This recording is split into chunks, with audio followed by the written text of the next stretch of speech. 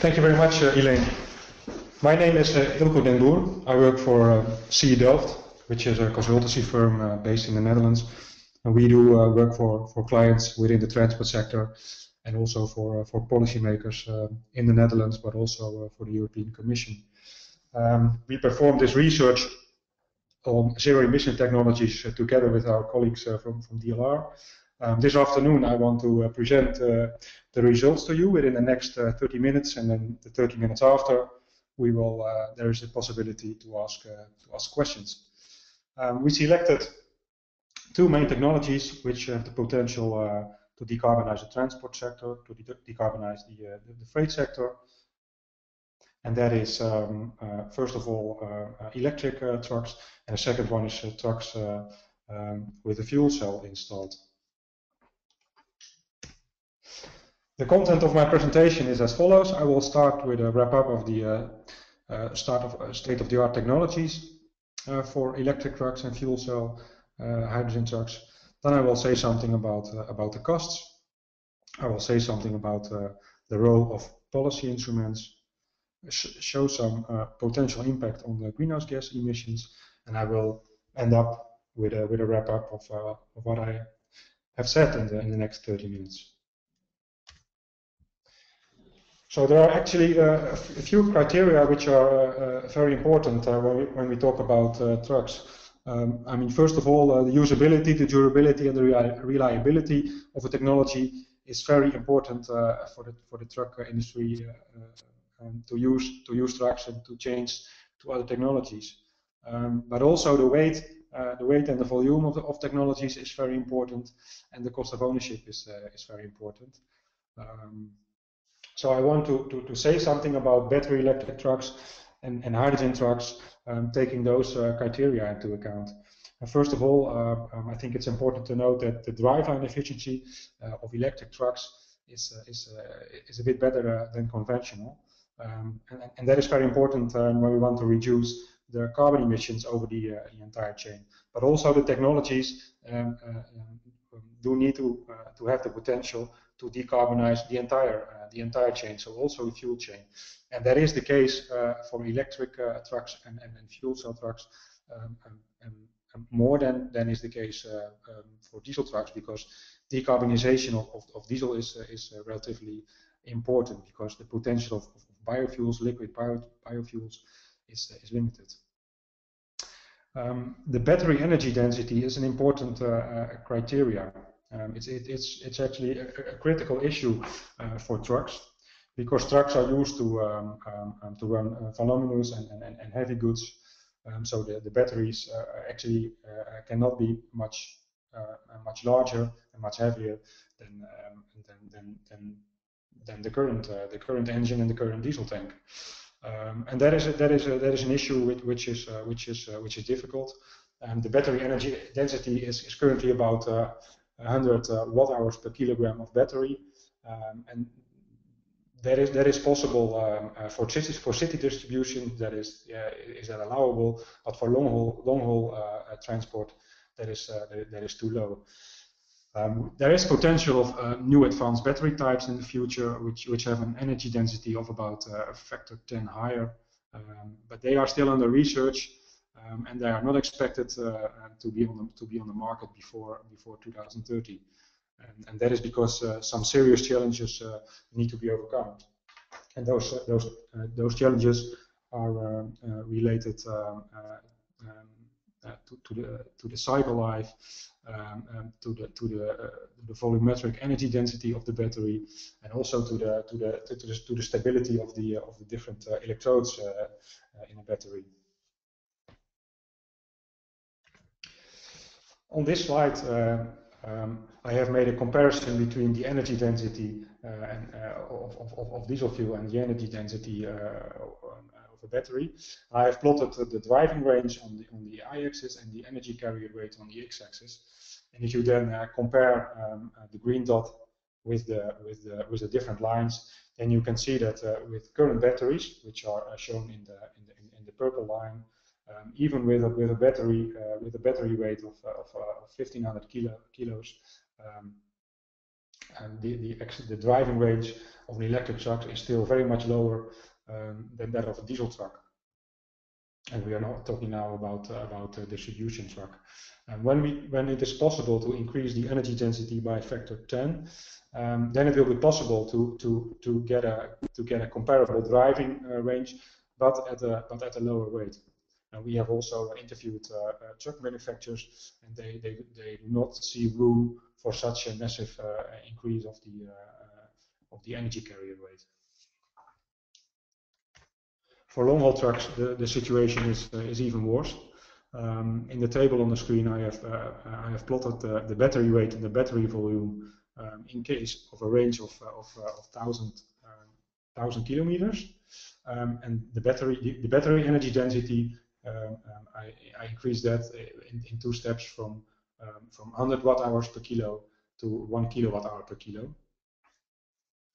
Um, and then you can see that the, the battery weight um, is, a, a, I mean, if such a truck would be built at the moment um, um, with, a, with, a, with a range of 1,000 kilometers, the battery weight would be 20 tons and the battery volume would be 14 cubic meters.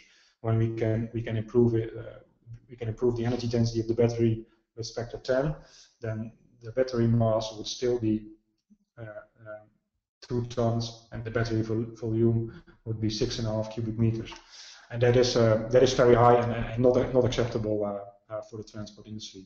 So application of long haul of, of, batteries in long haul trucks will will will remain to be very difficult and unacceptable in the in, in, the next 20 30 years.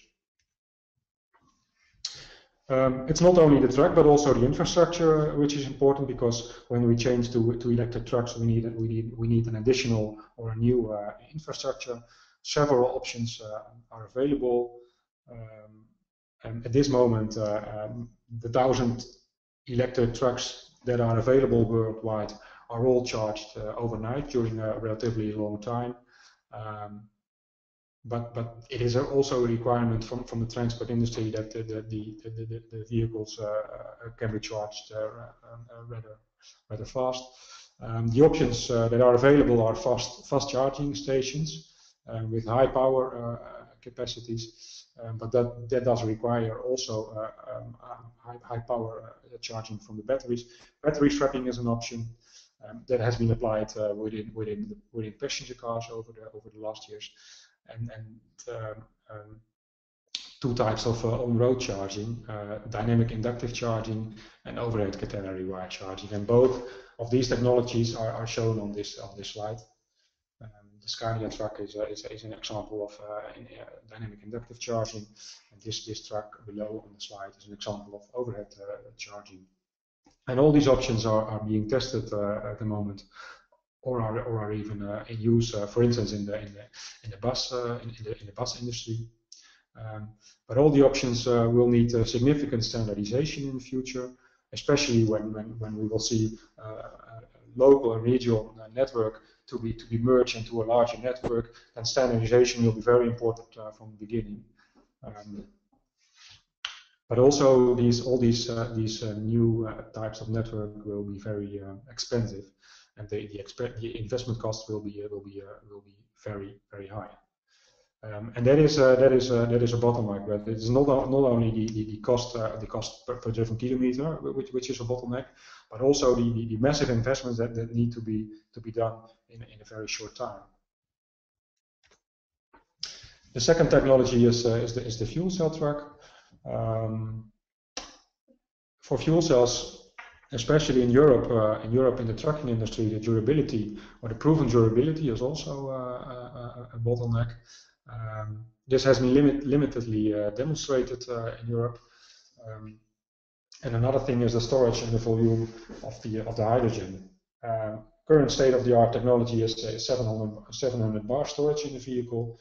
Um, when this techno technology will be applied, um, um, the, the, the, volume uh, and the weight of the fuel storage will be uh, will be much higher and especially uh, in case of, of a long haul application because because the energy that is needed to, to be taken on board is, is, is higher for a long haul truck than for a distribution truck. And then specific figures can be can be found on this on this slide I'm showing now. Infrastructure um, um, is relatively scarce uh, at, the, at, at, the moment uh, uh, for hydrogen. There are about uh, there are about 50 to, between 50 and 100 uh, charging stations in, in, Europe, but they are they are uh, in most cases privately used. Um, for the next decades, um, um, the, the, the, roadmap could be that that, that um, regional, local regional networks can be built up um, and interconnected uh, to, to arrive at uh, larger at larger network networks. But there will be again uh, massive investments will be needed. The costs of the vehicles. Um, we have made an, an, analysis of the cost that can be expected in the next um, um, uh, next 20 years. Um, we have analyzed uh, quite a lot, quite a lot of uh, uh, studies that focused, uh, for instance, on, on, on the battery and on the, and on the fuel cell systems, because those are the most uh, most important um, um, elements of these of these zero emission trucks. Um, when we can make, when when there will be made a, a, massive change from from conventionally conventionally fueled trucks to alternative alternative fueled trucks, then the costs, uh, the, the, the, production cost of the vehicles uh, can, can, can decrease uh, significantly. Um, but then we will need very relatively high production numbers, and then we are talking about 100,000 units production uh, per per year, which is which is uh, the number of, of, of, of, an average uh, truck manufacturer in Europe, and also um, continual increase in, in, in, the future future investments. So this is that is this is this is a relatively a long way uh, to go. Um, the costs of the of, of, of those uh, uh, fuel cell systems and batteries are highly uncertain. Therefore, we, we, we decided um, um, to include an uncertainty margin in our calculation um, that we made for the total cost of ownership. And I'm showing now the, uh, the total cost of ownership for a distribution truck. And the, the uh, uncertainty margin includes 25% uh, margin for the production cost, but also 25 uh, margin percent margin uh, for the fuel cost, because the future development of the fuel cost is also is also very uncertain. And in this graph, um, um, you can see that at the moment the cost of, of, of electric uh, distribution trucks and fuel cell uh, trucks are, are um, much higher than the cost of, of uh, conventional trucks. But taking the future developments and, and, and, and, and, and change from conventional truck trucks um, to alternative trucks into account, the production cost of the vehicle and, and also the uh, um, also the, um, uh, the total cost of ownership of such a vehicle um, they will they will um, they will go down, and they will they will almost be, be equal in the in, in the year 2030. And that is that is especially because um, because uh, electricity and hydrogen are are, um, um, um, are, relatively cheap in comparison with diesel, and and the vehicles uh, are more are more uh, energy efficient. Um, infrastructure costs are not included uh, uh, in this uh, in this chart, and this chart is only based on existing taxes. So it assumes um, um, um, it, it, assumes application of diesel taxes in the future, but non-existing electricity taxes. We have taken the existing electricity taxes into account, but non-existing taxes, for instance, hydrogen, um, they are they are not they are not taken into account. Uh, this slide uh, shows a comparable figure um, uh, for long-haul trucks. Uh, long-haul trucks, we have taken uh, we have taken um, the grid the grid connected vehicles into account, so the overhead the overhead catenary vehicles and the vehicles using dyna dynamic inductive grid. Um, and then you see that that um, like like in, in, in pre previous graph that the um, fuel cell trucks are relatively expensive, but that the that that the trucks that are um, uh, fueled by uh, electricity, they are um, also in the, in the year of, in the year 2012 already relatively cheap, and that is that is because of the uh, relatively low electricity price compared to the to the diesel price. And in the future, um, um, the, the, the, the, cost of the different uh, technologies uh, will merge.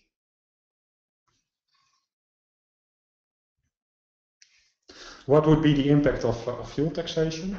Fuel taxation, um, um, um, fuel taxation of the of the battery electric vehicle, of the of the I mean of, of the electric electric the, the the vehicles powered by electricity will be will be between uh, four and eight cents per kilometer, and for the hydrogen fueled vehicles, the, the cost of the, the, the fuel taxes or the energy taxes will be between 7 and 12 cents per kilometer. Um, and that is that is around uh, uh, 4 to 5 percent uh, of the, of the um, total uh, cost of ownership. Infrastructure costs. Um, we made a very rough estimate of the of the what the cost of, of the infrastructure would be, um, and based on the available literature, we calculated that the cost of the cost uh, of a vehicle is about uh, uh, the cost of the infrastructure per driven kilometer is about five to six cents, and, and this is in the this is in the range of five to six percent of the total ownership cost. But then we all only have, have taken the cost of the road infrastructure into account, and not the cost of the upgrade uh, of the electricity, electricity uh, network. And this will uh, definitely be needed as well because we are talking about significant power supplies to the for instance, to the to the motorways. So the cost of, of, of the, the leverage of fuel taxation in, in infrastructure um, uh, costs um, they are they are not uh, they are not negligible. Policy instruments. Um, policy instruments will be very important um, because because the the, the, the trucking in, the, in industry um, um, we we we uh, uh, uh we, we had uh, contact with uh, during the industry, um, and, and, and, our analysis um, uh, shows that um, um, that the truck manufacturers are always looking for, for a market for a market. Is there a market that I that I can sell my vehicle? And that is that is a bottleneck at the moment because because the te technologies may have potential, um, but but but uh, uh, selling different of large number of vehicles is, is, is different uh, uh, at the moment, and it's it's that that is that may be uh, far from now without any legislation. So so policy instruments are, are very important. In, in, in, on the short term, fundamental fundamental research, for instance. On the, on the, storage of hydrogen and, and, and, and the, the, the, storage of electricity in batteries, uh, new and more advanced batteries is very important. Vehicle testing, fundamental vehicle testing, um, integration of different components into one vehicle is important. Um, infrastructure development is very important because uh, because uh, uh, we are talking about uh, about uh, uh, the so-called chicken and egg problem. Um, what will be first, the vehicles or the infrastructure? And this is a problem which is very difficult to solve. Um, the European Commission sub, submitted a proposal that requires national governments to develop to develop a strategy or to, to, to develop to develop infrastructure. Um, but still, it is not it is not decided who will who will, uh, for instance, uh, be the cost. So this is this is a very difficult problem to solve. Um, in a little bit later stage, also local and national policies are very important um, to, to, to help the innovators and to help the, the, the so-called uh, early adopters. Um, we are then at a stage for, for, for, for, for real world testing of the vehicles in, in, in different fleets. Uh, the first com commercial users uh, may come up. Um, they will they will need to be uh, under, underpinned. Uh, they will need to be helped with um, subsidies, fiscal policies. Um, those those fiscal policies, for instance, uh, the, the, the, the, tax, the, the differentiation of, of, of, of ownership taxes or the differentiation of um, uh, um, road charges road usage uh, charges, those instruments can help in a, in, a, little later stage.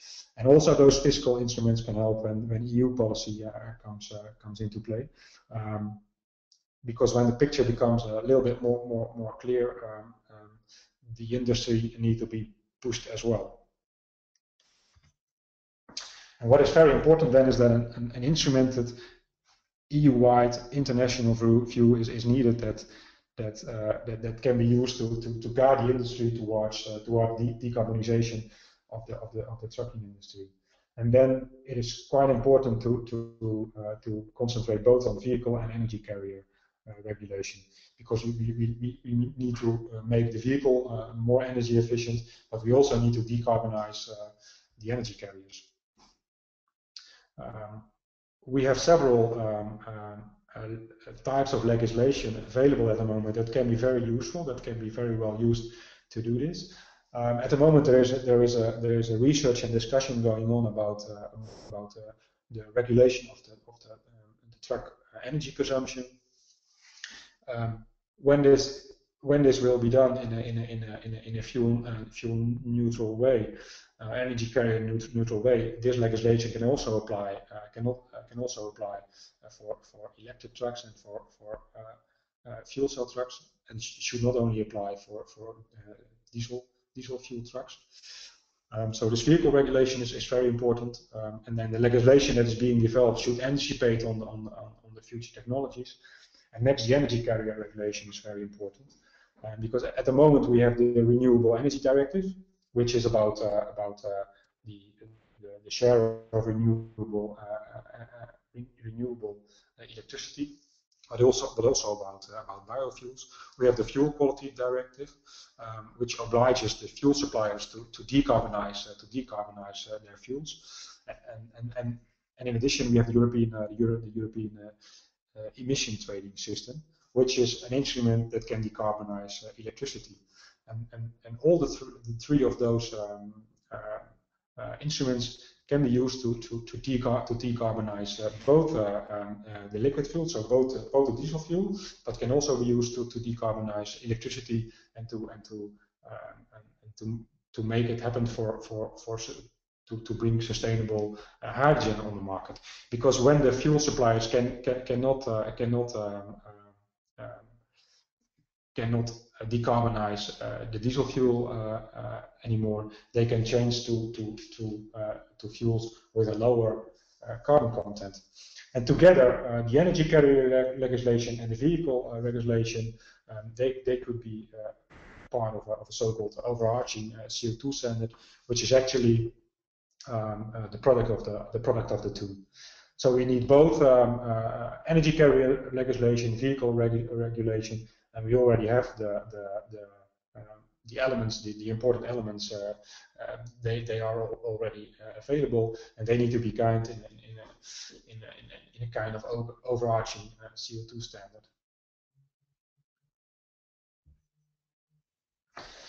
Greenhouse reduction scenarios. Um, we have developed uh, three different scenarios uh, to illustrate the potential of, uh, of the various drivetrain technologies. Um, we have used the business as usual, scenario, which, take, which, takes into account the, the, growth of the transport volumes in Europe, uh, which takes into account uh, uh, autonomous energy efficiency, and which takes into account um, um, um, the increase uh, of the use of, of hybrid uh, distribution vehicles. And in addition, we have developed two alternative scenarios which are shown on the slide. Uh, you can see now on the on the left hand um, we have shown I, I show the uh, distribution uh, truck scenarios, and on the right hand the long haul truck scenarios. And what you can see um, is that in the in the in the alternative one in the, in, in, the scenario on the top, we, we have calculated with about 50% uh, alternative vehicles uh, in, in in, in, in the next in the next uh, uh, 40 years. And in the second scenario, uh, in the, in, the, scenario on the bottom, we have applied, we have assumed um, a change from diesel vehicles to, to alternative vehicles. Um, for the long haul scenarios, um, um, we, we have for the for the first for the scenario on the top, the number one scenario, we assumed uh, uh, a, part of the uh, a part of the vehicles uh, being driven by be, being powered by hydrogen. And on and on the bottom, we have assumed uh, a larger share and an almost a 90% share of the vehicles to be fueled by alternative by alternative energy. And by by I have to say that we, we haven't uh, we haven't uh, um, um made an analysis an, an analysis for instance, based on cost, because it's it's very uncertain which of the technology, which of the te technologies will play a role in the future. Will it be will it be uh, hydrogen? Will it be electricity? Will it be uh, will it be fast charging? Will it be uh, overhead catenary, etc. That, that is uh, I mean, that is that is so very difficult and so very dependent on on, um, um, on, on, different uh, uh, different aspects. Um, for instance, the infrastructure, what what is what is going to happen on that side. Um, that that we decided uh, not to do that. So we just show the potential um, um, in a more illustrative way. And we assumed uh, we assumed uh, the decarbonization in the scenarios of electricity and um, of electricity and uh, and hydrogen um, um, in line uh, as as it is being has been presented in the EU energy roadmap. And from from from that roadmap, uh, it can be concluded that the, that the cost of the energy carriers should not necessarily be higher uh, in, in, in, in the longer term than it is now. So decarbonization of electricity is not is not necessarily uh, uh, more uh, more expensive than, than the electricity that comes from the grid now. In the graph, you can see the business as usual scenario that takes uh, that takes a 25% um, energy efficiency improvement of the conventional truck into into account, but still the emissions rise because um, um, because of the uh, of the increase in the transport uh, volumes. the alternative one scenario, which, which is which assumes about 50% alternative vehicles in the fleet uh, shows a reduction of about uh, of about uh, 20 to 30 percent, and and the, the, deepest emission reduction um, um, is be is can be achieved when we when we change to to, to a massive uh, massive introduction or, or, or a ma massive share of, of, of, zero emission alternative vehicles in the fleet. But then still, it's also very important to decarbonize um, to decarbonize the energy energy carrier to to achieve at, uh, at such a low uh, uh, carbon footprint for for the transport sector. But from from from from a technical point of view and from from from from cost uh, point of view, it shouldn't be. Uh, however, there are some some some bottlenecks and barriers, but it should be it should be possible. Um, but like I said, it is very important uh, that we will have a, a, a policy uh, that will guide us uh, towards um, a carbon efficient future for, for transport. Um, the automotive industry will need to be um, will need to be to be helped with with with with some guidance from the uh, from from the national and from the European uh, government. As I showed, um, policy instruments like the Fuel Quality Directive, the Renewable Energy Directive, the European Emission Trading System, they all need to be the, the, the concept and the framework of these uh, of these uh, uh, types of legislation is very is very uh, very useful. But but um, the, the, the criteria, the reduction, the reduction percentages they need to be they need to be sharpened to rise. Uh, um, I mean to to, to strongly decarbonize uh, the electricity and the transport fuels, and we also need uh, vehicle a vehicle regulation, and then it is it is very well possible to to decarbonize the, the transport sector.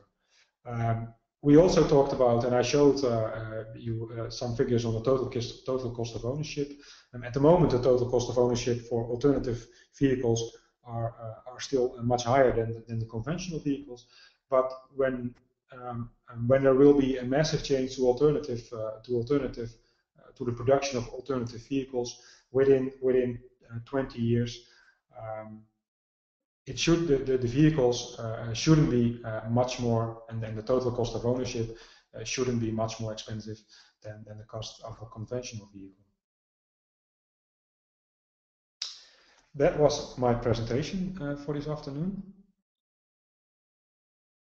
Elaine, I, I think I give the floor back to you. Did you gather any questions? Yeah, thanks. Um, thanks for that presentation, Eelco. We do have a few questions um, queued up here, so I'll just I'll I'll go through them. Um, first of all, yes, we will be providing the presentation after um, we'll be providing the slides after the presentation so we'll, we'll email that out to the group that signed up. Um, the first question is have you looked have you looked at all um, carbon capture technologies? Um, we we we did um, um, I think we, we have we have taken the the, the most uh, uh, prominent technologies um, that can be used to, to decarbonize uh, uh, truck transport into account. Um, that is what we, that is what we did. We didn't uh, uh, within the research, we did we didn't we did only pay limited attention to the uh, to the to the um, um, to the to the to the infrastructure. So uh, we, we did we did we did not pay much attention to the to the development of hydrogen, hydrogen in, infrastructure, alternative investment, um, alternative investment in, in, in electricity networks, etc. Um, we we did we did not do that. And we, do, we did also not uh, uh, take into account in the research whether there will be uh, I mean, the balance, for instance, between summer and winter, we did not take that into account. But my answer is yes. When we talk about did, did you take all the um, all the technologies that that can provide deep deep reduction uh, of the of the CO2 emission from trucks into account uh, for the for the for the vehicle part, uh, my answer would be yes. Okay, thanks. Um, the next question is uh, about the lithium air batteries. It says you suggest 2030 for lithium ion air batteries. Why is this? Um, when other analyses suggest 2020 is more likely. Um, I think um, the report, the report uh, uh, uh that we wrote says 2030 for the um, for, for, the for the lithium air batteries and lithium sulfur batteries may be on the market a little bit a little bit earlier. But I think it's quite difficult quite difficult um, um, uh, to, to give a clear answer on that because there are there are some barriers that need to be that need to be taken. Um, at this moment, um, both batteries are not uh, applied uh, commercially. Um, the cycle life, for instance, of the of the lithium air battery is about uh, is, is uh, the, ma the, maximum cycle life that has been achieved by, by researchers is about uh, is about 50 cycles. Um, and whether whether whether the, the, the, problems they are they are working on will be solved in, in, in 2025 or 20, 2030. Um, I mean, we, we cannot predict that uh, today. So there it is it is it is obvi obviously it, it is a range, but but we don't need to we don't have to expect it uh, within the next uh, within the next five years. I mean, we, we talked we talked to um, we talked to people from the from the from the battery uh, production industry, and they do for the next five years they are they are uh, very much focusing on improvement of the lithium lithium ion battery, and they are not talking about changing to to uh, lithium air or lithium sulfur batteries. So so 2020 is is is very early in my opinion. Okay, thank you. Um, the next question has to do with um, the long range. Uh, someone asked why you use the 1,000 kilometer range um, when drivers have to stop to recharge? Um, it could be. It could be. Um, you could also think of uh, using a shorter driving range, um, but but uh, for a long haul truck, um, a driver drives about. I mean, thousand kilometers is a, is a, is a, it, it is not. Um, it is it is just an, a, a, a figure we chose. Um, but you could also think about uh, using 800 kilometers per day or 600 kilometers per day, per day because then I think a, a truck will, will run about uh, be, somewhere between 600 and 800 kilometers, so that could be a little bit lower. But that that that won't change the conclusion too much, I think. But but but I agree that uh, that you, you could you could calculate with a, with a with a with a uh, with a lower number. Okay. Next question is um, in your methodology, is there a conclusion that by 2050 you can achieve zero emissions? Yes. I mean, is, is, is the question that uh, that uh, if if that is one of our conclusions that, that it is that, that we will achieve, or, or, or can you repeat yeah. the question?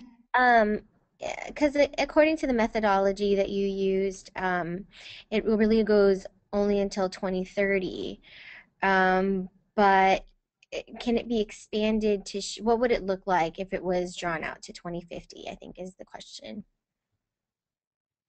We, we I mean, the, the scenario calculations we made, they, they, they run until uh, 2050, um, which I showed in, in, in the presentation. Um, I mean, th then it is it is possible to um, uh, to decarbonize um, uh, the transportation sector, but but I mean, it's, I, I I, won't say it's easy. I mean, uh, it will it will require a lot from from from, from the truck manufacturers, from the trucking industry. We need we need to to, to redesign uh, the charging infrastructure. So so um, I think it's it is uh, it, it is uh, we, we have shown with the calculations uh, that it that it is possible, but it, it will it will require uh, quite a lot of of effort from, from from all the stakeholders in, in, in the transportation sector.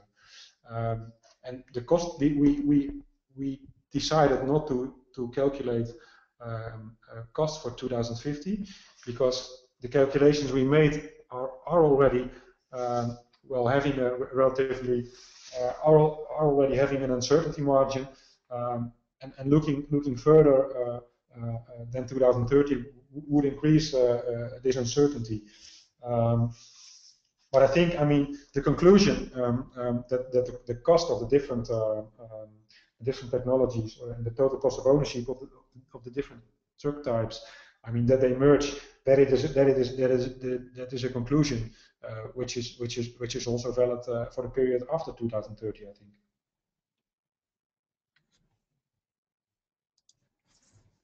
Okay. Um, the next question is, uh, which figures did you use to compare cost per kilometer for electricity? Um, current electricity costs, which is very to have. We, we um, yeah, we, we used uh, studies uh, from, from, from both um, um, both uh, done by the European Commission, but also by the by the European uh, um, um, branch uh, organization from from Uh, power producers. And those studies uh, suggest that even when uh, when um, um, taking decarbonization of the of the of the electricity uh, of the of the power uh, sector into account, the cost should not be necessarily necessarily higher. So the, the, the, there is a there is a there is a slight cost change in our in our calculation. cost, I think it is a it is a relatively um, um it's a cost increase. Um, but it is relatively limited. The cost increase we, we took into account is relatively limited. Okay. Um, the price the price increase between 2010 and 2030 is 35 percent. And we took we took um, and we calculated with with an electricity price of about uh, of about 10 cents uh, for for 2012.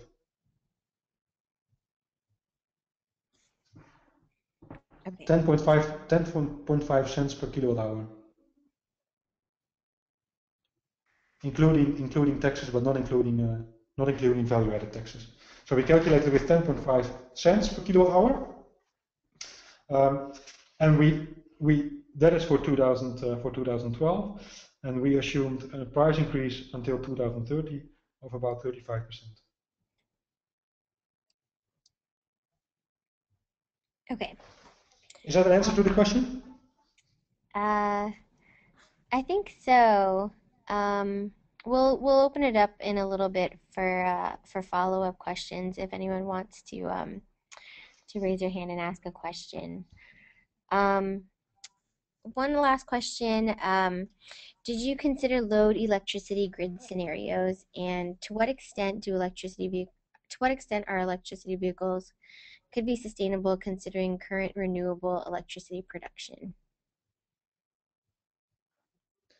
Now, as I, as I said uh, earlier, our focus was on the was on the, on the mainly on the trucks, um, and we did not we did not uh, uh, deeply analyze uh, sustainable uh, electricity um, production scenarios, whether whether that is possible, what what, what it requires from the from the grids, etc. Um, but but um, there are there are several of this Euro European scenario uh, in that respect uh, available.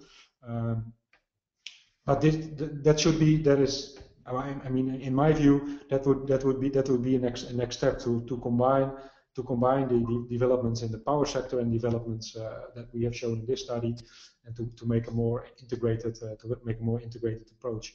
Um, but the assumptions we used, uh, for instance, about uh, about uh, the decarbonization of the, of the, electricity, is part of the plans of the European Commission. So it's, it's part of the European plans.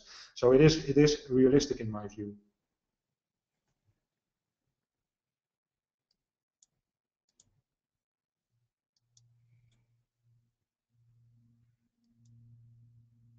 Okay. Um, that wraps up all the questions that I've received um, through the chat box.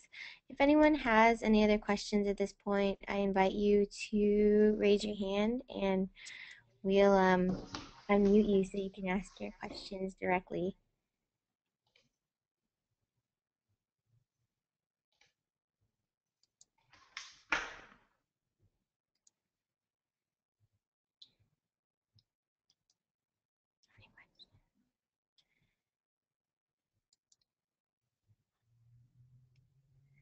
Um.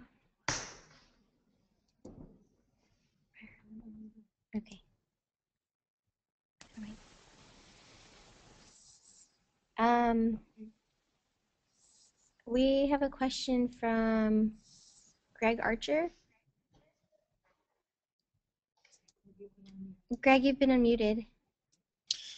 Thank you. Uh, good afternoon. Uh, Greg Archer from Transport uh, and Environment.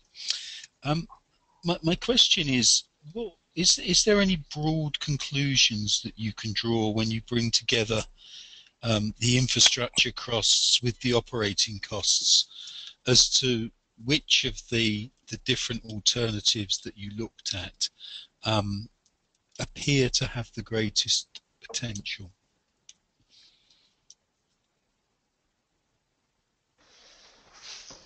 Yeah, that, that is a question which is very difficult uh, to answer because because we, we did not um, um, the data the data um, that, that we could that we could find um, for instance on the on the cost of of, of, of, a, of, a, of a hydrogen network within the framework of the study that was very limited um, so so what we what, what what we can say is that the costs of, um, of for instance uh, of about an overhead catenary system um, um, is not is not. I mean, it, it, it is a it is a lot of money when we talk about investments, but but when we uh we, we distribute it over all the different kilometers, then it then it is relatively limited. Um, but I cannot. I can. Uh, uh, I'm sorry, but I, I cannot give a, a, final answer about that because we, we also did not, for instance, did not take to the, the cost of upgrading the, the power grid into account. So so I, I, I cannot I cannot uh, uh, give a final conclusion about that.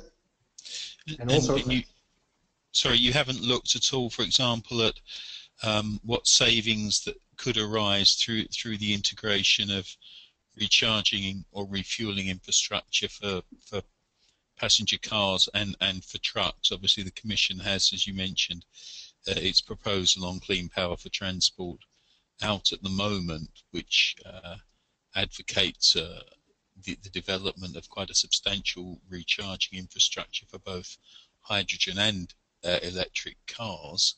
Um, potential therefore exists to, to piggyback the development of trucks on the back, since of course trucks are likely to follow cars in terms of the development of these technologies.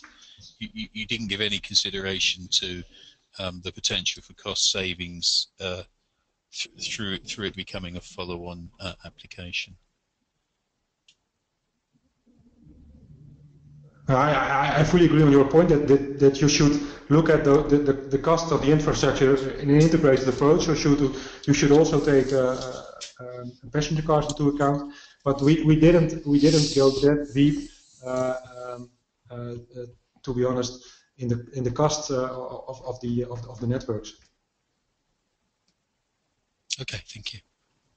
And and well, what is interesting uh, uh, to say about that is that we we, we, we, we, I showed I showed a figure in the presentation on uh, overhead catenary um, um, uh, uh the overhead catenary, catenary system, but that is, uh, in my view, a technology that is not applicable for passenger cars because that is probably the, the, feasibility of such a system for passenger cars is probably probably very difficult.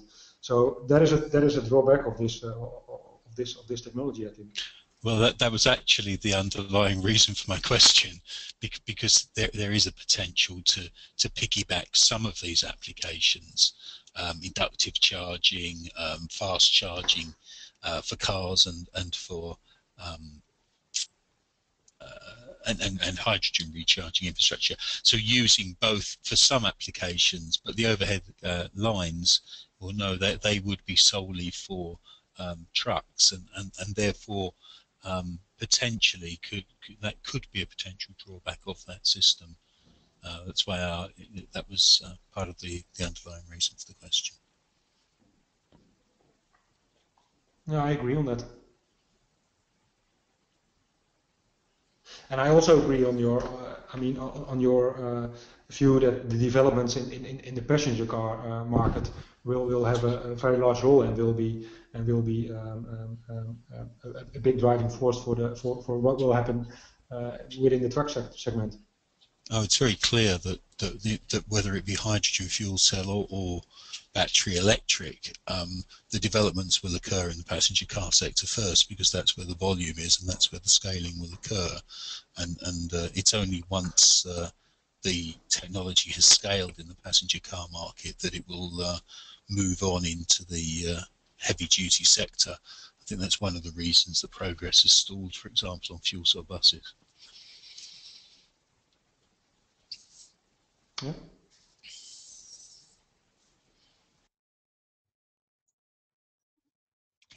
Are there any other questions in the audience?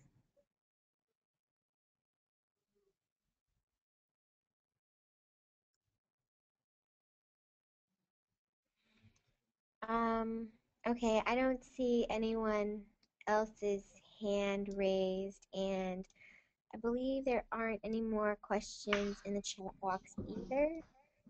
Um, so I guess we'll end our presentation here today. Um, I'd like to thank Eelco for presenting and for all of our participants and everyone that for everyone that participated today. We'll send out the presentation to um, to those that attended today and those that registered and weren't able to make it. Um, and if you have any other questions, um, feel free to email me, Elaine, E-L-A-I-N-E, at theicct.org, and um, I'll make sure that we get your, your questions answered.